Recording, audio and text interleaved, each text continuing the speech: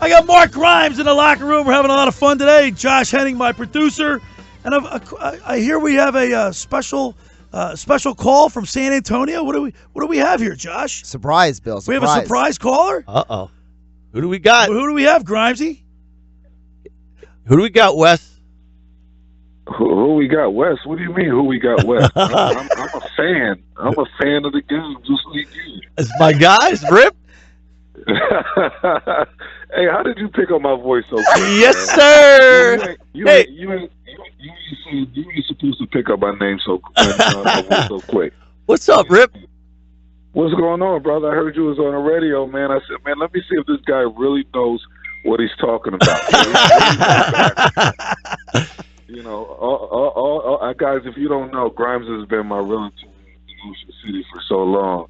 He's all, he's always took care of me and my family, and we at nighttime we always get these, you know, nice, great poker games with guys at the shore, nice little round table. And he's always talking about all the Philly teams and how his son is, is good in AAU, and how basketball and everything like that. So it's good to hear him on the radio talking basketball. Well, we're having a lot of time talking. We're all excited about this uh, championship weekend and uh, hopefully get a, a Villanova victory for us. But we have Mark Grimes in here, and we're all excited about the uh, the, the uh, game tonight.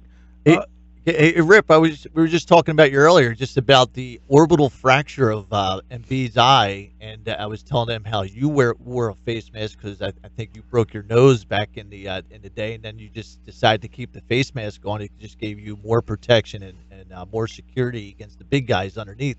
Can you explain what Embiid's going through right now? Oh my goodness, man! Look, I I, I I called the game, the Cleveland game, and uh the other night, Cleveland versus Miami, and Kevin Love gets hit in the face. And I'm like, oh, okay, man.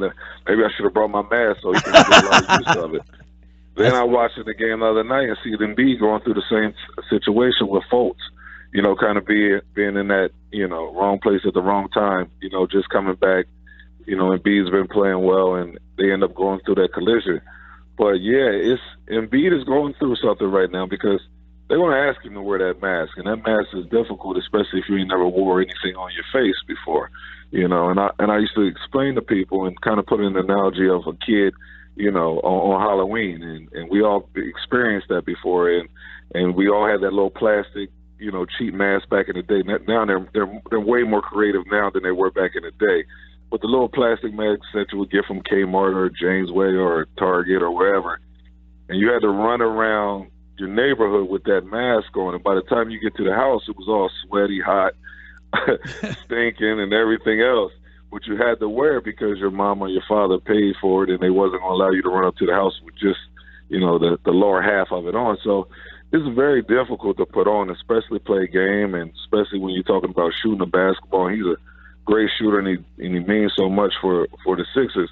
He's just not a he just doesn't bring an impact on the game defensively, but his shooting, passing, scoring, and everything else. Right. Hey, Rip, uh, uh, you were the MVP, of the Final Four when you played back in the day in UConn, and you guys won your uh, championship back then. Can you tell us what these guys are going through right right right now?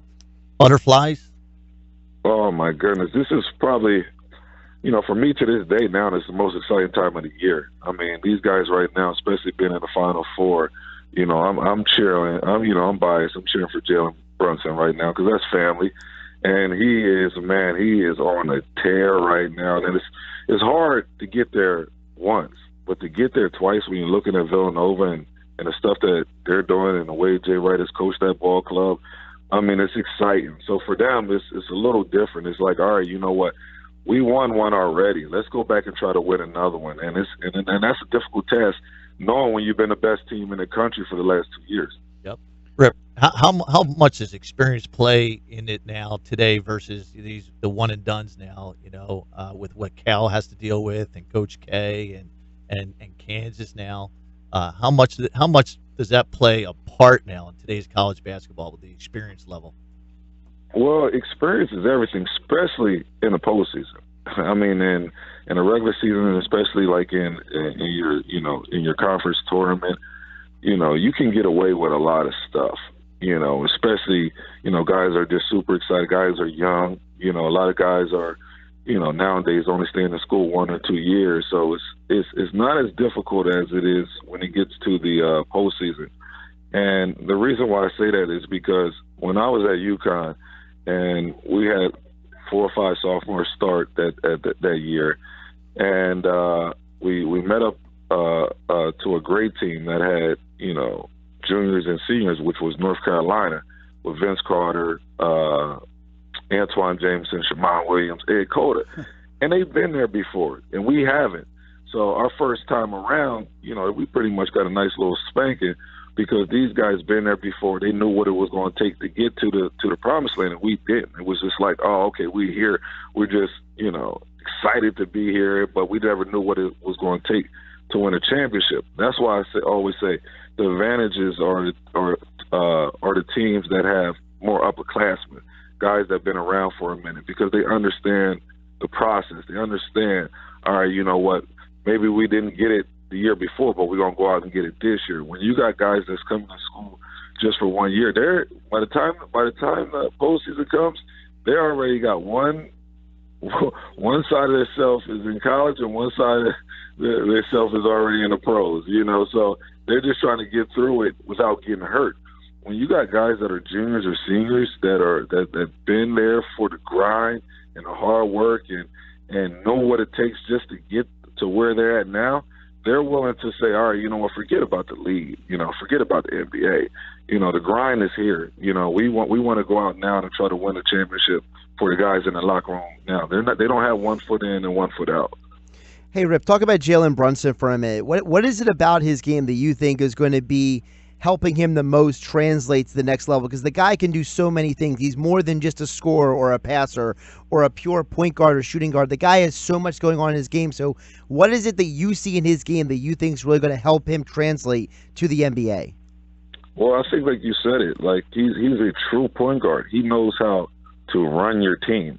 Uh, when you look at a lot of guys that came out in the last 10, 15 years, no, I say last five, ten years, when you're looking at that point guard position, they're more scoring point guards. They're they're more of uh, of a hybrid, a guy that pretty much is a two slash one. They're not a one slash two, and I think he's a point guard first. The way he attacks the game, the way he runs his team, his demeanor. I mean, if you ever look at his facial expressions during the game, man, he is always on board. And I know his dad personally. His dad is a funny dude. You know, he coached me with uh, Chicago, but he's always a serious dude too. So his son gets a lot of that off his father. And if you if you know their story and how Rick has been on his son, you know, growing up, you know, as a kid and, and, and pushing him and asking him like like each and every time, do he want this? Do he do he want to play basketball? And if he does, you know, he's going to push him. So you can look at his demeanor and always see on the floor that he's always leading his guys. You know, it, it, it, it kind of reminds me of when I played with Khalid El-Amin, and it was like, all right, you know what? Regardless – and Chauncey, really, when it comes to this, regardless how they were playing in the game, if they were 0 for 10 or 1 for 10, or, or I mean 0 for 10 or 10 for 10, you never knew that, especially in late game situations, because they always took took control of the game and they always wanted the ball to make the right play down the floor. A lot of guys, you know, uh, uh, uh, you know, get away from that at times because maybe they'd be struggling. Maybe they're over 10 and maybe they go out and say to themselves, all right, you know what, I don't want the ball in pressure situations. Jalen's not that guy. Jalen's like, yo, give me the ball, coach. Hey, you know what, what you want me to run, and I'm going to run it to a T. So that's a great thing to have, and, and, a lot of guys don't have that. Yeah, that's a great quality to have, no doubt about it. Hey, Rip, yo, going back, you mentioned Chauncey. You know, when you guys won the NBA title, the, the league was different back then. You know, there's a much more of an emphasis now on three point shooting, and you see what the Sixers are doing here in Philadelphia that team with their two stars, they're not pure three point shooters, whereas the Warriors, they are three point shooting teams. Talk about how the, the ebb and flow of the game from when you played to now, how this league is just is constantly evolving, is it not?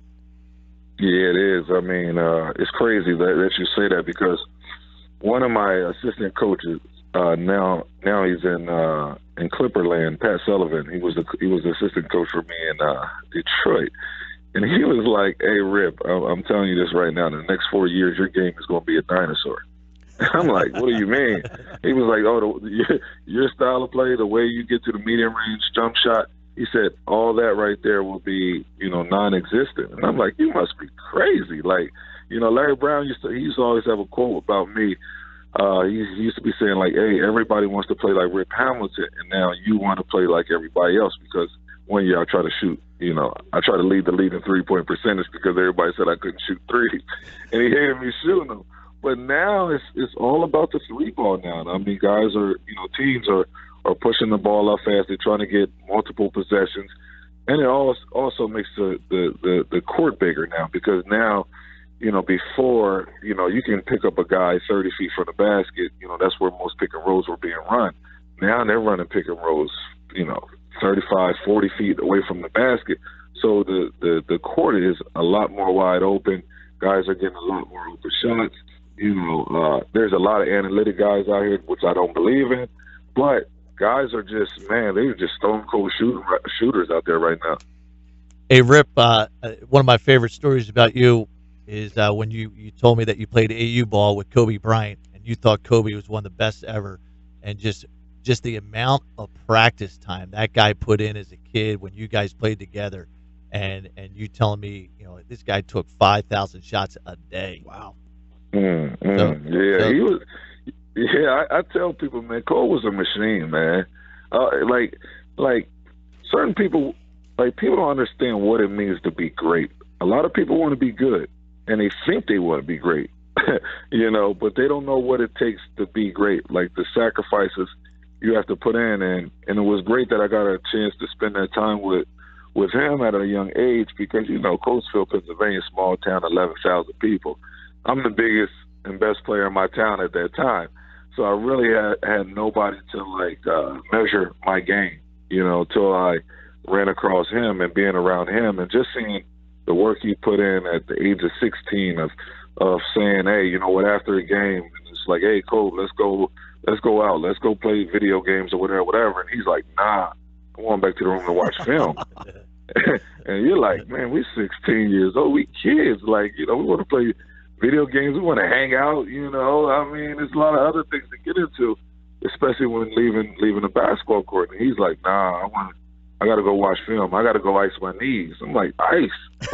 like, what kid do you know? I what either what kid do you know either ices or stretches or anything like that? They just want to go out and play. But he was he was a different breed, man. He was a, he was a guy that I learned a lot at a young age. That now as you see, you know, people are comparing him at, to Michael Jordan, to top three players in the league that ever played the, played the game before. So, you know, yeah, he was a different beast. Hey, Rip, uh, this is Billy Schweimer. I have one, uh, one, one last question for you. What was it like to have your your number retired? That had to be a really cool uh, feeling to have your number retired. Oh, okay. First of all, the Grimes, did you make it? I'm gonna put you on. Put you on right did you make it, Mark Grimes? okay. Oh, okay. Yeah, we're gonna we're gonna let him get away with that right now. um, still, you know, I'm still. I had that open seat for him, and he didn't show up. I, I you right now. It's all good, brother. But you, you, you know, uh, it was it was great. You know, it was great for me.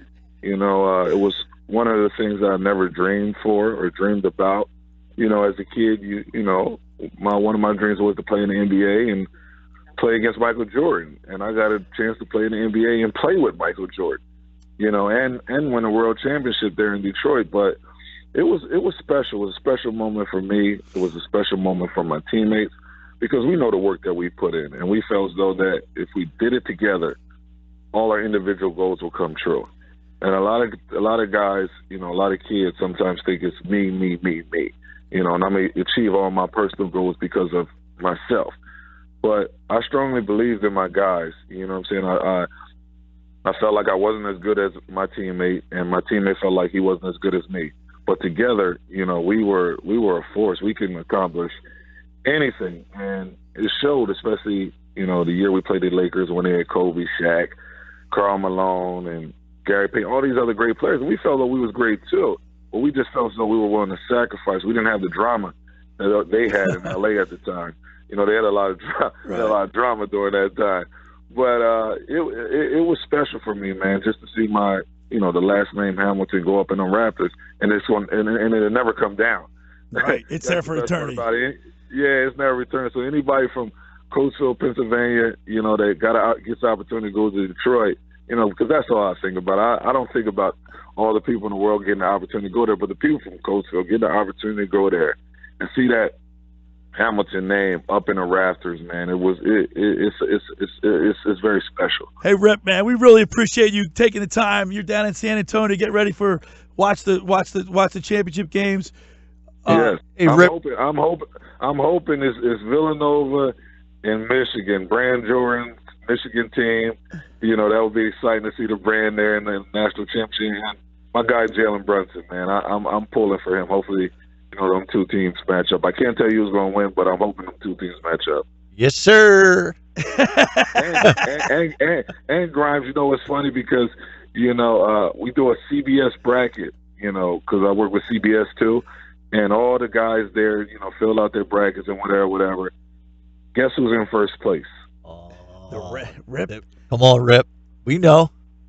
We my know. 10 year, my my ten year old son. Dude. Really, Deuce? Wow. in first place. If Villanova wins, right? Yep. He, he picked his teams. Look, he picked Michigan right in the finals because he was born in Michigan. Didn't know anything about Michigan. Just knew that he was born in Michigan and they're sponsored by Brand Jordan. That's Wow. why. Hey, for everybody out there, we listen, Yeah. Listen. Villanova, he picked Villanova, and he had Kentucky up there because of his uncle Kenny Payne. He picked them, and he had Villanova because of Jalen Brunson, because of the time they we spent in Ocean City. well for all the Yeah. listeners out there, we run a camp at Stockton State. I know we don't want to break here, but we run a camp, and I'm telling you, Rip's kids are going to be amazing. players. They're going to be players. Rip, thank you so much. We really appreciate it. It was great for you to call in and enjoy the games tonight. Yeah, I'm still waiting for for him to answer. Was he at my retirement? No, I, my, my son was in a championship game, Rip. Family first, Oh, man. okay. Come on, I Oh, okay. apologize. All right, cool. All right, Rip. Thanks so much. We'll talk to you soon. Rip Hamilton on the Times Thanks, River Volkswagen Sports Hotline.